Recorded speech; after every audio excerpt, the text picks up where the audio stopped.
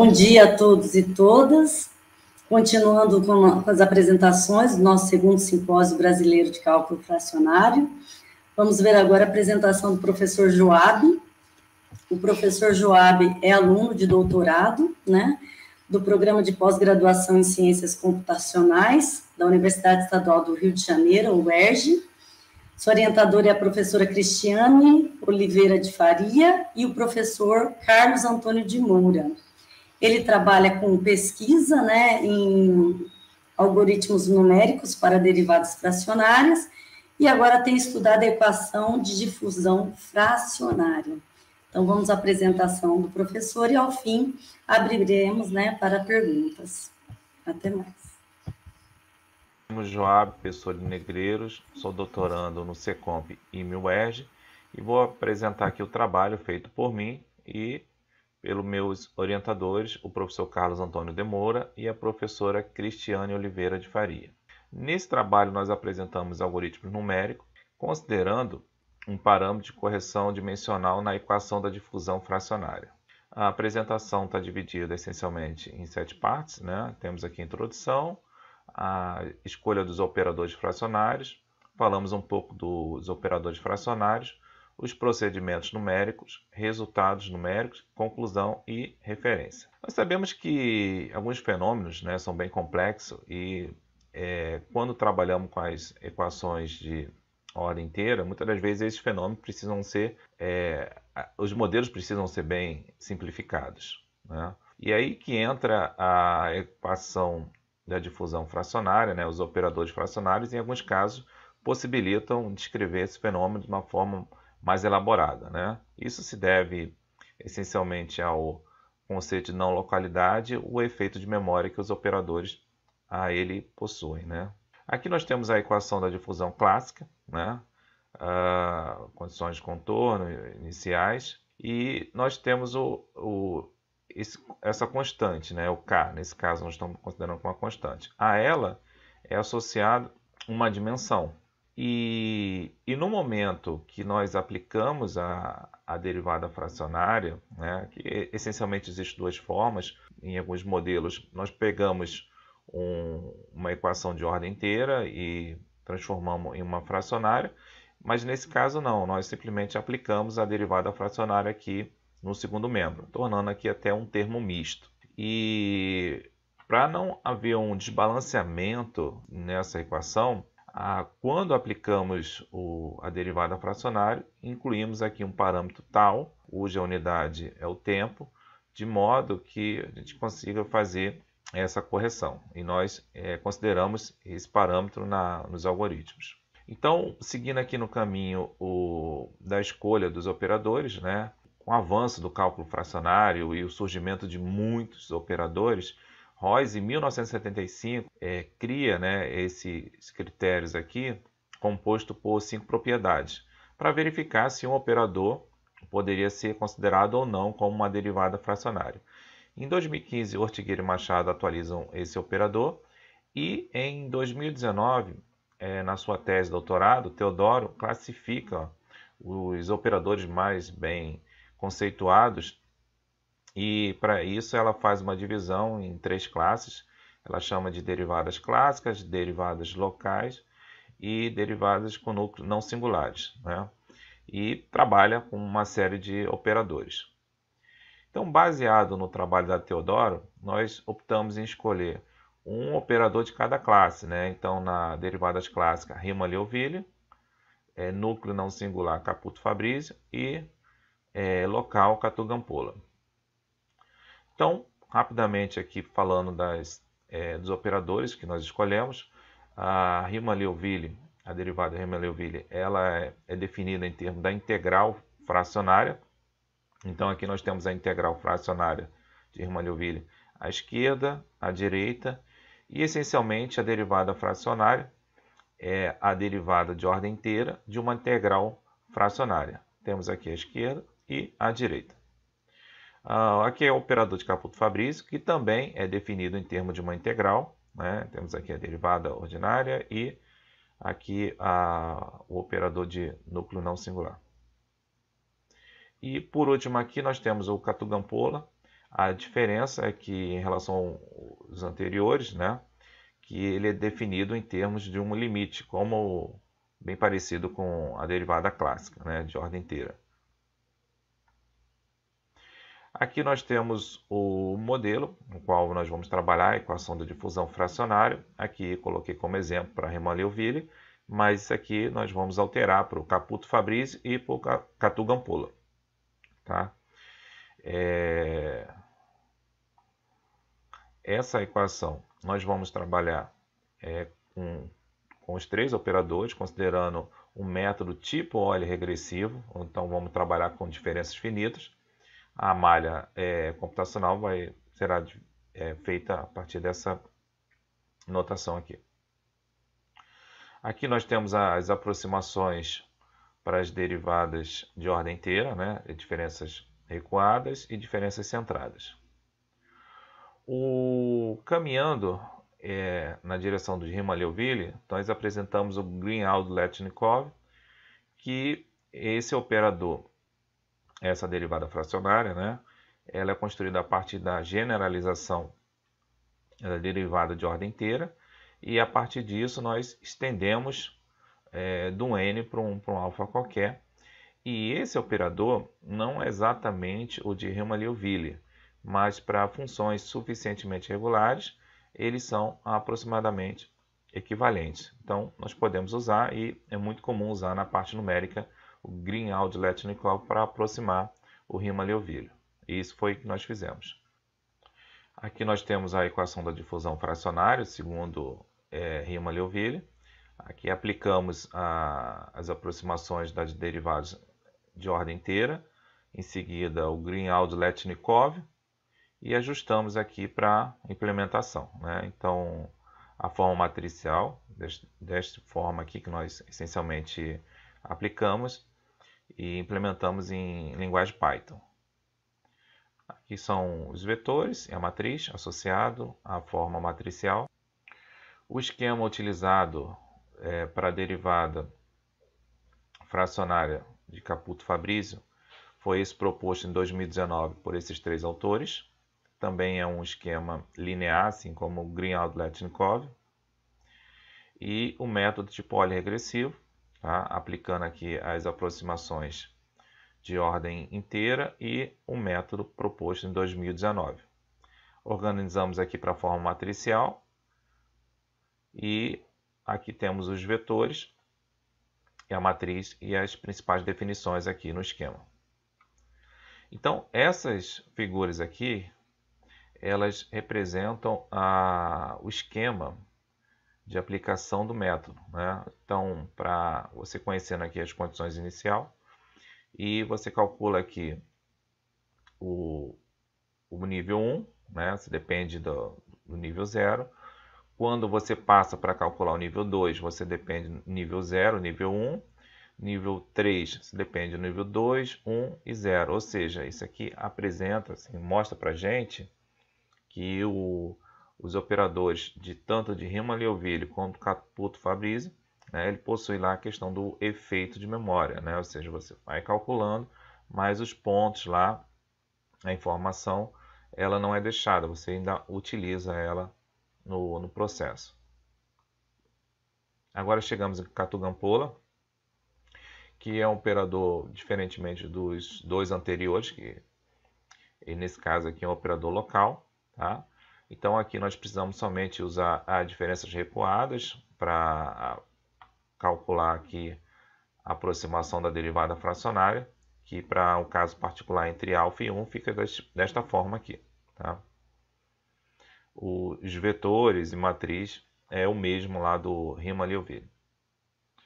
Então, apresento também aqui as figuras relacionadas ao Catugampola, e diferentemente do Riemann-Liouville e do Caputo-Fabrizio, a gente mostra aqui ó, que por ser um operador local, né, ou seja, ele depende somente do, dos valores um nível anterior, diferentemente do Riemann-Liouville e Caputo-Fabrizio. Agora, já pensando aqui no, nos resultados numéricos, né, esse primeiro, esse, é, primeiramente nós vamos apresentar três tabelas com o objetivo de verificar a, a ordem, né? a precisão dos algoritmos. Tá? Então, nós vamos comparar a solução numérica com a solução analítica. Tá? Então, consideramos aqui é, o tal parâmetro de correção dimensional igual a 1, vamos calcular o tempo igual a 1, delta x fixo, e vamos variar o alfa e o, e o tempo, né? o número de passos no, no tempo. Então, essa aqui é a solução analítica, essa aqui são os dados de entrada, e para a rima Leoville encontramos, né, variando aqui o tempo de 8 passos, 16, 32, 64, 128, conseguimos ordem muito próximo de 1, né, que é, é equivalente com, com o método de Euler regressivo para um caso clássico é, onde a equação de, de, fusão de ordem inteira. Né? Então, é, conseguimos essencialmente bons resultados para o algoritmo que nós estamos propondo. Então, agora para o Caputo Fabrício, né, essa solução analítica para esses dados de entrada. Também os resultados ficaram muito próximos aqui de 1, né, pequena diferença aqui, mas no caso melhores. E Catugampola, solução analítica, dados de entrada. E aqui nós temos também resultados muito próximos do método é, regressivo clássico, né? ou seja, sempre a ordem calculando aqui próximo de 1. Uh, ah, nesses demais testes aqui, o objetivo é verificar a influência do alfa, que é a ordem da derivada fracionária, e o parâmetro tal, que é o parâmetro de correção dimensional. Então, nesse caso, vamos trabalhar com apresentando todos os testes aqui em diante para esse problema, né? pensando sempre na solução numérica que está sendo apresentada né, para esses valores aqui, é, nesse caso fixo. Nesses primeiros testes aqui, nós vamos fixar aqui o tal igual a 1, vamos calcular é, os resultados numéricos em t igual a 2. Então, nesse aqui nós variamos o alfa, que é a ordem derivada fracionária, de 0.1 a 0.9. Tá? Como era de se esperar, você observa grande influência aqui dos resultados com a medida que você varia o alfa, né? o que realmente é, traz a, a, as grandes possibilidades aqui para as equações de ordem fracionária. Então aqui Riemann-Liouville, de forma semelhante para Caputo-Fabrizio, também acompanha, e Catu-Gampola, bem próximo, né? O Catu-Gampola sempre dando uma diferença mais significativa em relação aos outros dois operadores é, nesses próximos testes, calculamos também a solução em t igual a 2, mas aqui nós já vamos é, variar, né, jogar valores diferentes para alfa e para o parâmetro de correção tal. Né? Então aqui consideramos dois valores para alfa, né, o, o, a ordem 0.7, 0.3, e em cada valor aqui nós consideramos três valores para o tal o tal igual ao t, que nesse caso é o 2, tal igual a 1, seria tipo ignorar o parâmetro de correção, no caso, numa equação de fusão fracionária, e tal igual a alfa, né, que esse caso é 0.7, esse caso é 0.3. Né? E observamos aqui que o, a variação no parâmetro de correção né, talvez realmente se torne um grande desafio, né, de uma escolha adequada para esse parâmetro, mas ele também te dá novas possibilidades. Né? Então, por, por exemplo, como o alfa ele está variando aqui de 0.3, 0.7, como nós vimos nos gráficos anteriores, você tem grande influência. E dentro dessa influência, ou seja, você ainda consegue é, novos ajustes com essa variação do, do parâmetro tal.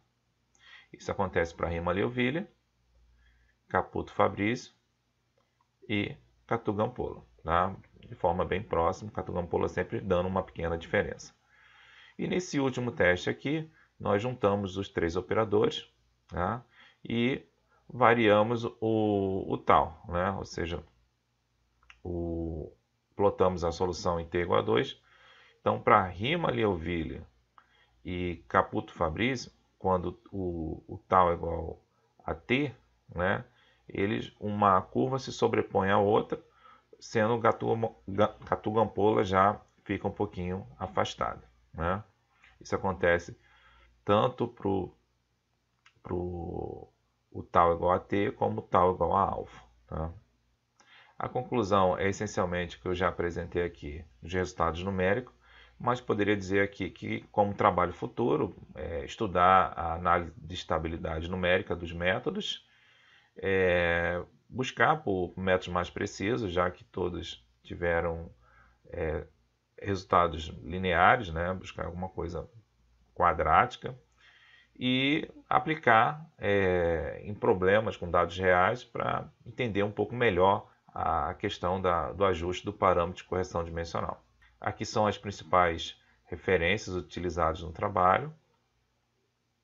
Muito obrigado.